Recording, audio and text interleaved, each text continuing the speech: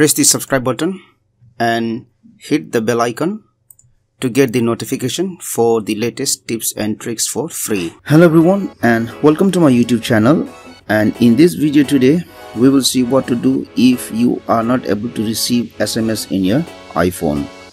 If you will find this video helpful then please like, share and then subscribe to my YouTube channel for more tips and tricks.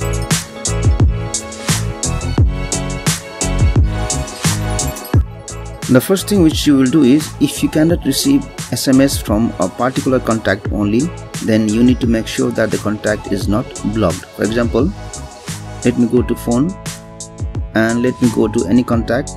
Suppose if I want to check whether this contact is blocked or not, I will just tap on it.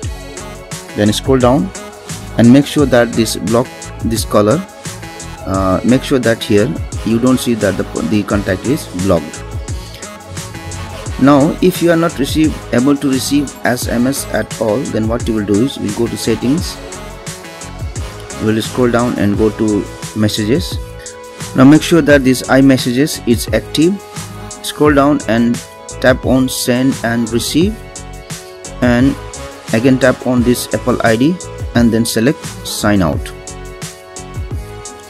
Now once you do these two things you should be able to receive SMS in your iPhone. Thank you for watching this video and please subscribe to my YouTube channel for more tips and tricks.